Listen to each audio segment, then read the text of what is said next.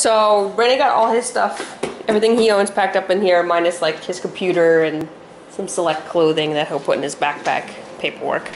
Um, and then Freckles has his own bag for his bed and his blankies. And then I can fit all my stuff and even like our the motor to our Blendtec in there. Even our tripod and I've got some canvases rolled up in a poster tube.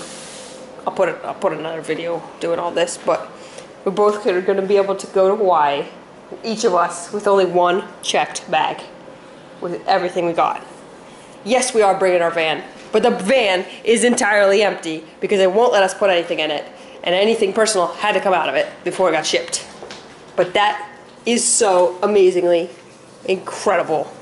Because if you saw where I started when I started doing all this minimalist stuff and actually documenting the minimalist stuff, we were not here. We were nowhere close to here. And now we were even talking about like, oh, we might go live in Japan during the summertime. Because if we downsize enough and we figure everything out in Hawaii, it would be easy to go make a trip to Japan and then go live there for like 90 days for like the visa and then come back.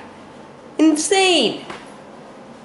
Get rid of your stuff and you can go do amazing things. Amazing things! Tell him, Freckle things.